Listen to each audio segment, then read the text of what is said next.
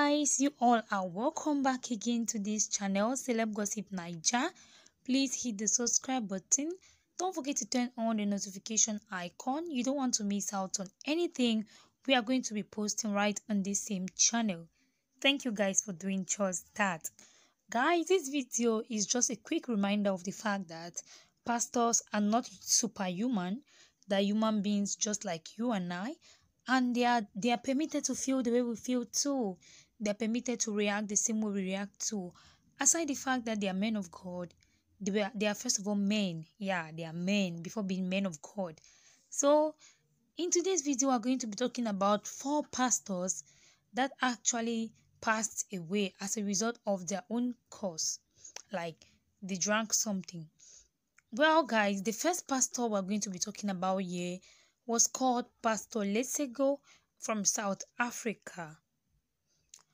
Until now, Pastor Lesego was a popular Christ Embassy pastor in Limpopo, South Africa. Pastor Lesego actually passed away after he sent pictures of himself to his WhatsApp church group. I know you guys can imagine those kind of pictures. We can't tell you guys right now because of YouTube and some certain things, but you know those kind of pictures you send to the wrong places like those kind of pictures you send to someone you didn't want to send to this pastor could not face his church after sending such pictures report has it that he was married and he wanted to send the picture to his lover out of my, his marital home and by mistakenly sent it to his church group the pastor could not face his church and he passed away. He decided to pass away. Well, RIP to you, Pastor Lesego. The second pastor was actually called Pastor Richard from Zimbabwe. Pastor Richard was known as the preacher with the apostolic faith in mission, Zimbabwe. Apart from being a pastor, he was also a gospel musician with a melodious voice. Pastor Richard passed away on a live video after he broke up with his girlfriend, an unidentified person.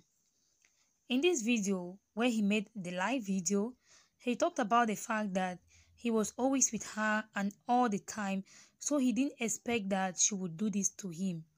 He decided to drink that thing, and of course, he passed away. The third pastor here we are going to be talking about was called Pastor Bishop Barry Zambaza from Zimbabwe too. Wow. Like Zimbabwe, Zimbabwe, there's something wrong with Zimbabwe.